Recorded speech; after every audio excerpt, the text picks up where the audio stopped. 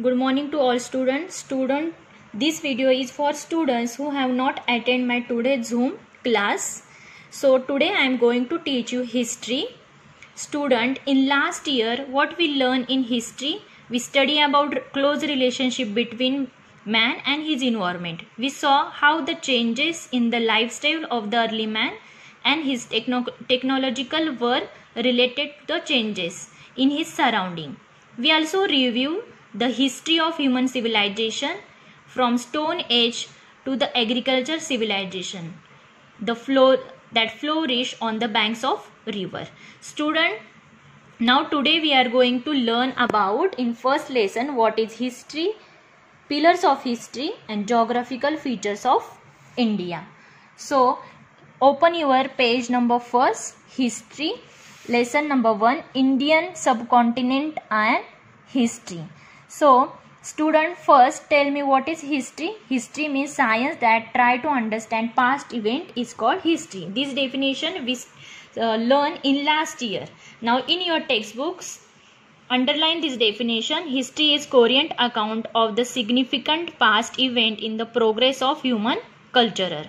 Okay history is a coherent account. Coherent means idea of significant past means important past events in the progress of whose progress in the progress of human culture. So uh, you have to underline this definition. Okay his due to the history we get idea of of the important past events. What is happening whatever happening in the past we get idea due to the history in the progress of human culture.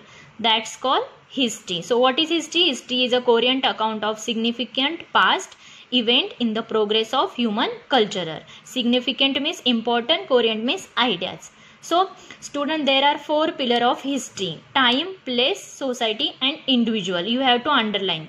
There are four pillar of history. Time, place, society and individual. This is a main four pillar of history. Uh, factor of history. Okay. Time, place, society and individual okay this this is pillar of four pillar of history. You have to keep in uh, in your mind. Without this without we cannot write history without them.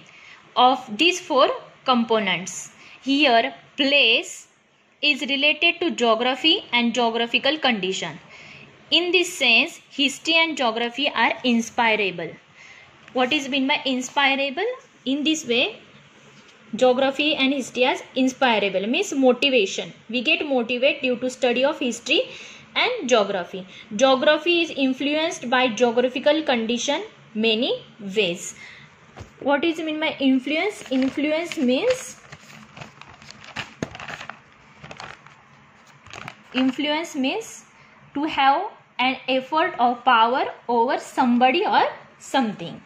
So now student our diet, clothing, housing, occupation, in fact all human life in any region depends to large scale extent on geographical characteristics. For example, the life of the people in hilly region. Hilly region means like Mahabaleshwar, uh, Jammu Kashmir. People live in hilly region. Their life is different than people live in a plains. Like we are we are live in plains. Okay we are live in maharashtra. We are live on plains. So our geographical fe feature is different than hilly uh, people who live in hilly regions. Okay people in hilly regions is more strenuous than that the people of on the plains. Strenuous means effort. Okay people live in hilly region need to take more effort than that of the people on the plains. Not much fertile land uh, is available in the hilly regions. As we know in hilly regions rough uh, there is uh, soil is not fertile okay? In hilly region we we we can see uneven path okay? It is available on uh, large scale that is why grains and vegetable are scarce in hilly hilly areas. Like mahabaleshwar people people who live in mahabaleshwar they i am giving here one example.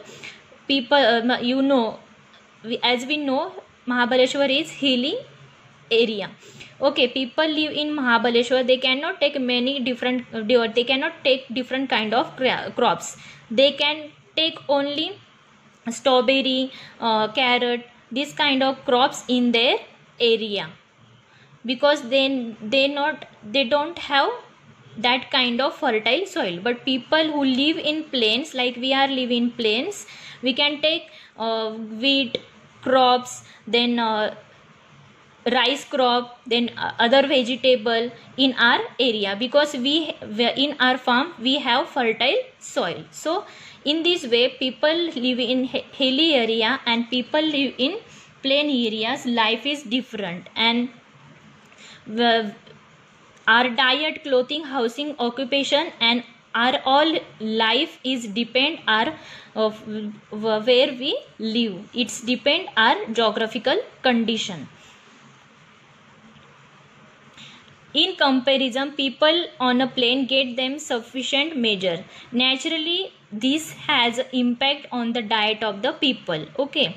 Uh, in hilly areas in hilly region people depend more and hunting and gathering for their food. You have to underline this.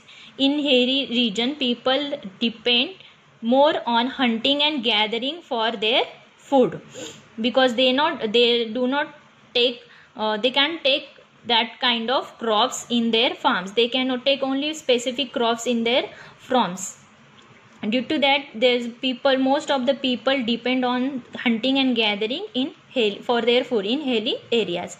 We also find other such differences in lifestyle of people of the hilly region and those of the of the plains. Okay.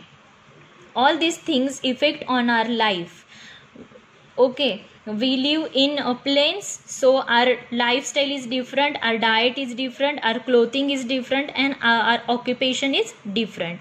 And people who live in hilly areas their all lifestyle housing the, their clothing is depend on their climate on their weather condition. Now student you have to turn page page number 3 okay. Now the climate rainfall agriculture product flora and fauna means all the animals and plants all the animals and plants of an area or period of time okay your flora and fauna means animal and plants of the region where we live are the sources of our livelihood. The lifestyle and culture of the of a region develops with their support. Now human settlement have flourished whatever wherever the may, the means of living are plentiful. Means as we learn in uh, as we study in last year how the early man settle their uh, village settle their their life beside the bank of river. Because they get lots of water there and due to the water they can take many kind of crops in their farm. They cultivate them and be, uh, that's why they flourish their uh, village settle village beside the bank of river. Over a period of time this settlement develop further into village and towns. But sometimes re uh, reasons like degradation of the environment means decrease of environment drought invasion invasion drought uh, invasion means disaster lead to the scarcity of those means people are forced to leave their settlement due to the degradation of environment drought invasion means disaster. People forced people forced to leave their settlement. That's why they leave their village that's why they leave their mm, town that time. Village and towns become deserted. We see many such instances in history. This we see the that there is a very close relationship between history and geography. Now let's move to the main point geographical features of India. Okay, geographical features of India. Now student open your page. Now student turn your page, page number 4. You can see here India map, India physical map. Okay. Now student you here is north side, here east west and south it is direction okay north east E means east, S means south, and W means west.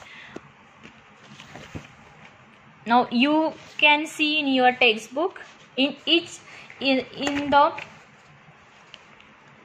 our country India extend for far and wide. Okay, as per population, our India it is on uh, second rank and as per area wise we are in seventh rank. Now student see your map on page number 4 you can see as it is north side okay as north direction as it north direction himalayas okay. North direction himalayas to the east bay of bengal to the west Arabian Sea and to the south Indian Ocean is there. Okay, you can see in the map east side Bay of Bengal, south Indian Ocean is there, then west Arabian Sea. Okay.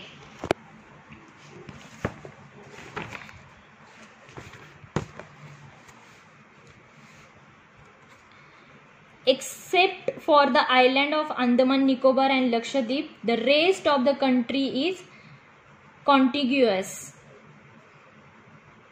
Means all these three sides uh, of India surrounded by water. Okay, all these three sides India surrounded by water. Now student, and ancient India, when we study at the ancient Indian history before 1947, today's Pakistan and Bangladesh were the part of our India. Okay, today's Pakistan as we learn as we see the history before 1947 today's Pakistan and Bangladesh were also a part of our India before freedom. Now let's we will going to study more detail about Himalayas. Himalayas we also call as uh, we also can call Himalayas Hindu Kush range Hindu Kush range have created an impenetrable wall means impossible wall on the north side of the Indian subcontinent. This wall has separated the Indian subcontinent from the desert of Central Asia. However, there is a land route through the Khyber and Bolan. Okay, you have to underline these two words. It, it, it is important. Khyber and Bolan passes in the Hindu Kush mountain. Okay, which uh, which route passes Hindu Kush mountain? Khyber and Bolan route is passes Hindu Kush mountain. This route was con connected to ancient trade route. The, the trade route from China passed through Central Asia and reached Arabia. It known as a Silk Route. Okay, the route the route from China passed through Central Asia and reach Arabia Arabia it's known as a silk route. Okay. Why, why we call as a silk route? Because silk product is uh, export and import throwing this uh, throwing this route. Means Khyber and Bolan route. We call as the silk route also. Because silk was the main co commodity exported. Okay. Silk was exported by using this route that's why we we we call as silk route to the west countries using this route the route through this past was the used by many foreign invaders means travelers to enter ancient India. By using this route, many foreigner uh, enters that time. Many foreigner foreigner enters travel to the India. Many foreign travelers also come to Indian by this route. In uh, sorry, here in endeavor invaders means attackers. Okay. Due by using this route many travelers many foreign people many invaders means attack attackers can enter this enter into our india.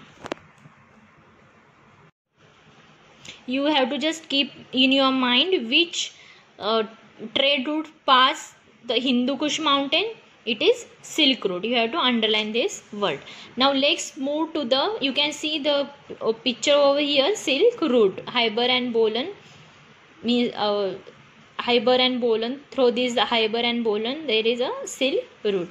Now, come to the second point: the plain of Sindhu, Ganga, and Brahmaputra. Okay, now the plains of Ganga, Sindhu, and Brahmaputra. All three are rivers.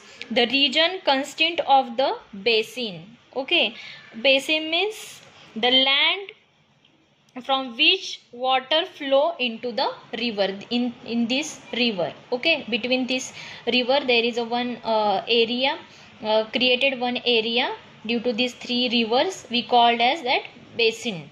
So this region consists of basin of the three big rivers that is ganga sindhu and brahmaputra.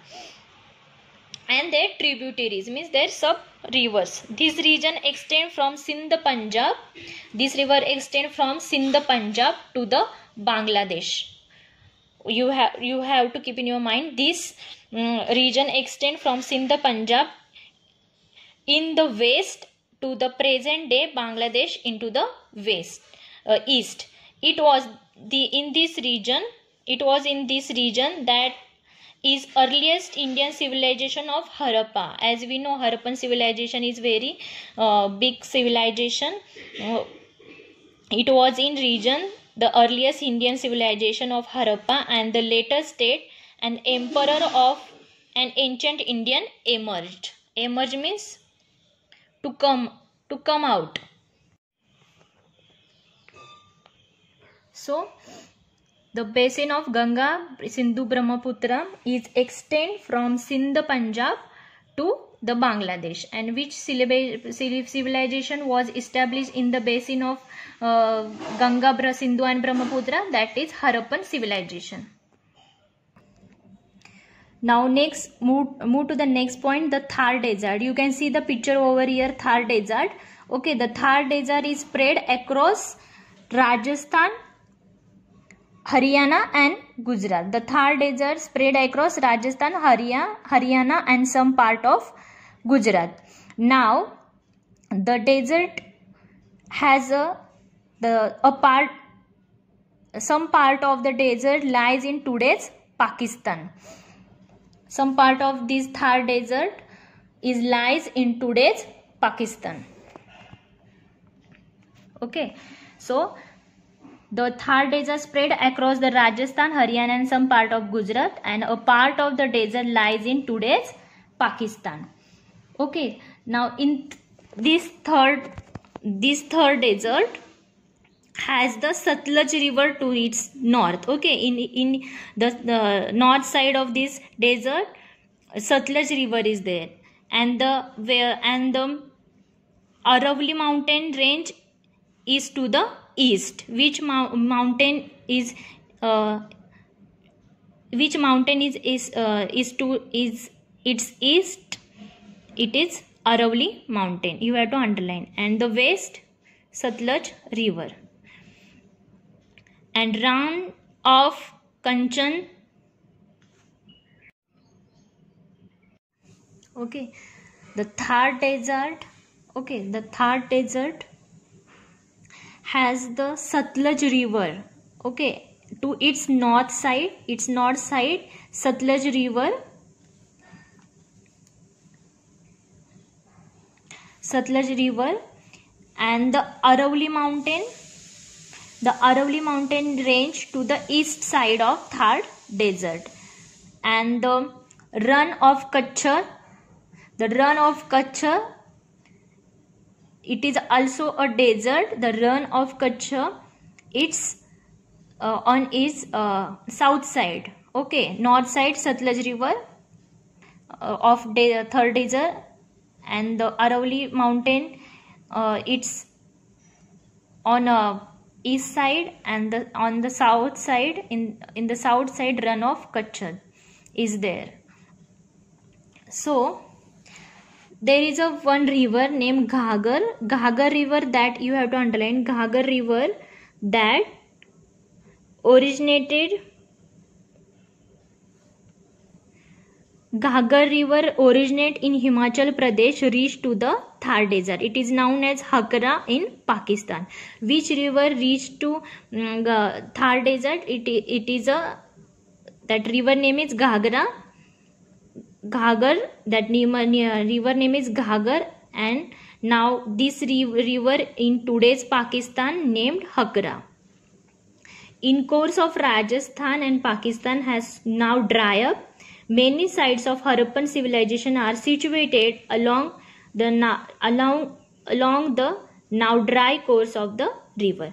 Now next move to the fourth point the Deccan Plateau. You can see here on page number 4 you can see here brown color shaded part of India Deccan Plateau. Now students the region between the east and west coast of area Draper of the south. The re this region has the Arabian Sea to the west, Indian Ocean to the south and the Bay of Bengal to its the east. A region this bound by three sea, sea on the three side is called peninsula. Now come on page number 4. Okay, you can see here this region, this Deccan Plateau surrounded by three side of water. Okay. Its east east side bay of bengal is there. South side deccan uh, indian ocean. And to the west side arabian sea is there okay. This part of india surrounded by three side of sea three side of ocean. We called as that peninsula. Okay. Here is a deccan plateau. Okay. To uh, to the deccan plateau its west side east side bay of bengal and uh, south side indian ocean is there and arabian sea is there. Three or uh, these three side is uh, uh, water is there. Okay this deccan plateau surrounded by three side uh, three side by water and we call as that peninsula.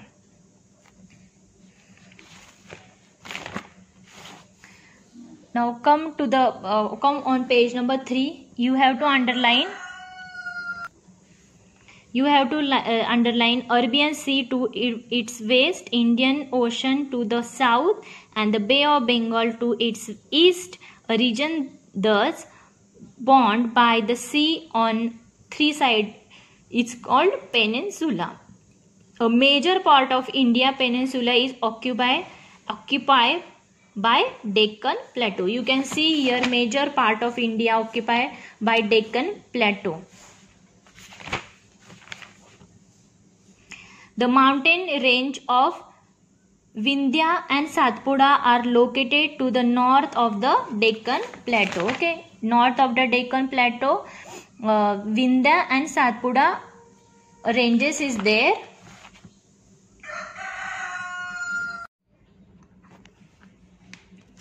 okay deccan plateau now to the north side of deccan plateau vindhya and satpura satpura ranges is there then to the uh, the sahyadri mountain the sahyadri mountain range are to the west okay? To the west side of to the west side of deccan plateau to the west side of deccan plateau sahyadri mountain mountain is there. We called as that western ghats. We call this uh, part of uh, Deccan Plateau Western Ghat and we call this part of Deccan Plateau Eastern Ghat. Means uh, here we can you can see the direction. Here east and here is west. Here we call, call this part of Deccan Plateau Western Ghat and here Eastern Ghats. Okay. They known as the Western Ghats. To the west of the Sahyadri is located coastal region of Konkan and Mal Malabar. The mountains on the eastern side of Deccan Plateau are known as the Eastern Ghat. Deccan Plateau has fertile land where many past uh, post-Harappan agrarian cultures flourish. Deccan Plateau was the part of Maurya Empire. Maurya Empire is a very uh, famous empire in ancient India. It is established by Maurya Emperor. Okay, and uh, his kingdom known as Maurya Empire. The largest in the ancient India. We, we, we will going to see about their Maurya Empire and uh, the King Maurya in in uh, in to, uh, today's in next uh, lessons. Then more uh, the largest ancient India after the decline uh, of the Maurya Empire to several other king and smaller emperor continue to flourish in this region means in, in ancient India in Deccan Plateau the place of this place is uh, famous for Maurya Emperor and his empire now let's move to the fifth point the coastal area coastal area means seaside area from the time of Harappan civilization and ancient India had trade relationship with western countries. Okay. This trade was carried by on by sea. Therefore, India had developed contact and interact with foreign cultures. Okay. Due to the uh, sea, uh, due to the root of this uh, coastal region, due to the due to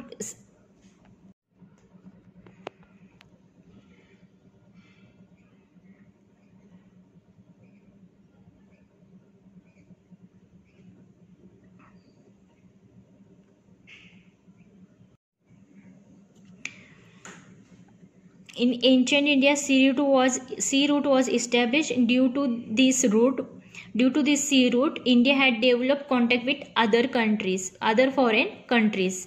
And India, India had developed culture and people at the seaport. Later on, uh, land route was established and land was uh, land route come came to the use by people land route came to use by people for trade and transport the, due to this the importance of sea, uh, did not diminish means uh, decrease then uh, not for use. Now let's uh, last point is the island in the sea. Okay. Here you can see students. Okay. There is two island andaman nicobar island in the Bay of uh, which ocean? Bay of Bengal and Lakshadweep island in the Arabian Sea. Okay. Andaman Nicobar in Bay of Bengal and Lakshadweep in Arabian Sea. This is a Indian island. Andaman Nicobar are the island uh, Indian island in the Bay of Bengal and Lakshadweep in a uh, is a group of island Indian island in the Arabian Sea. The location of this island may have been important in ancient sea trade. The manuscript, you have to underline this now, manuscript Periplus of Erythraean Sea. It is a book name or handbook of a Red Sea. Okay, written by unknown Greek sailor. Okay, author name don't uh, we don't know about uh, we don't know author name it is unknown greek sailor sailor means person who travel by sheep or boat. So he wrote the uh, of the Erythraean Sea or a handbook of a Red Sea. Okay, yeah, and he described about these two uh, Indian two uh, island Andaman Nicobar and Lakshadweep in his book. What is the book name? Periplus of the Erythraean Sea or handbook of a, or of the Red Sea. Okay. Now come to the page number 5. Now last point the Indian subcontinent the cities of Harappa and Mohenjo-daro as we know Harappa and Mohenjo-daro is very uh, famous civilization in ancient India are uh, and Pakistan are in today's Pakistan and as I told you uh, in before freedom we uh, in 1914 before free, freedom in 1947 before 1947 pakistan is pakistan were part of india and harappan and mohenjo-daro are now in today's pakistan these two famous civilization. Now see this uh, country for this country Afghanistan, Pakistan, Nepal, Bhutan, Bangladesh, Sri Lanka, India together from a region known as South Asia. Which country including South Asia?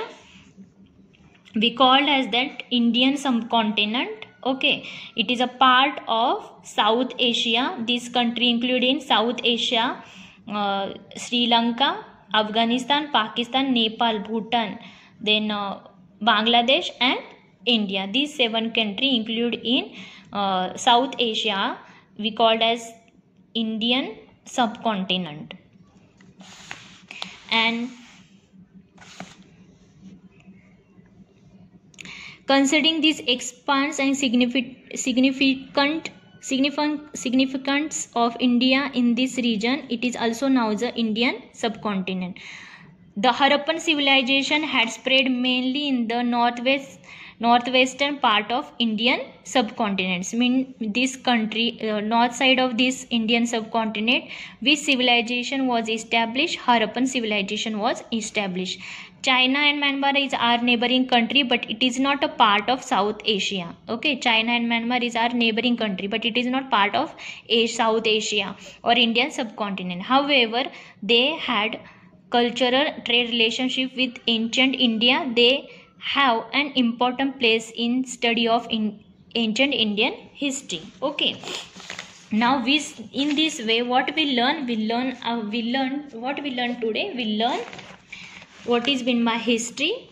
Okay. History is a coherent account of the significant past events in the progress of human culture. There are four pillars of history time place society and individual.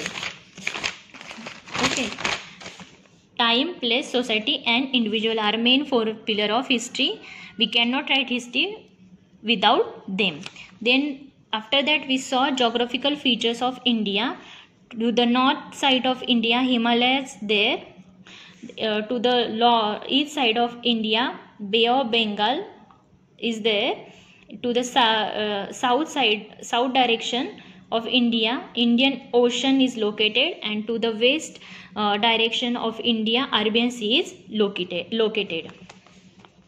And after that we uh, uh, uh, in indian in in geographical features of india first point we uh, learned himalayas him, uh, mountain himalayas range we called as hindu kush range and there is Khyber bolan and silk route. Silk route is very famous because silk is exported by india to the other country. That's why we called as that silk route.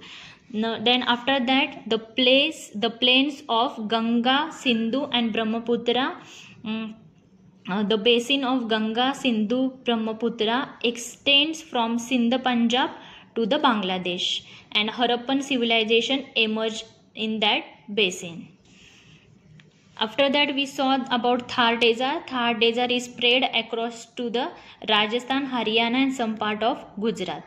And the part of the desert lies in today's Pakistan. And to the uh, to the south, to the north side of Thar Desert, Satluj River is located. To the east uh, direction of Thar Desert, Aravalli mountain is located and to the south of Thar Desert, Rann of Kutch is located. Now we learn about Deccan Plateau. Okay, Deccan Plateau is surrounded by three side of ocean, three side of sea. We call uh, that uh, we call as that peninsula. What is by peninsula? Our India. Uh, the north side sorry the west side east side and south side okay surrounded by water. These three sides surrounded by sea and we called as uh, the, that is okay our india surrounded by three side of water we called as peninsula. Most of the part of india occupied by deccan plateau. Now the coastal region we, we learn coastal uh, trade was carried but did not diminish because after uh, that a land route came to use by people for trade now the two island uh, indian island, uh, island for first is Andaman Nicobar is located in uh, Bay of Bengal Ocean and Lakshadweep is lo- located in Arabian Sea. And the Indian subcontinent, which country include in Indian subcontinent? Sri Lanka, Afghanistan, Pakistan, Nepal, Bhutan, Bangladesh and India. These seven countries include in Indian subcontinent in South India. China and Myanmar is a neighboring are neighboring country but it is not part of Indian subcontinent. So in this way we learn these things. So enough enough for today. Good day student. Bye bye.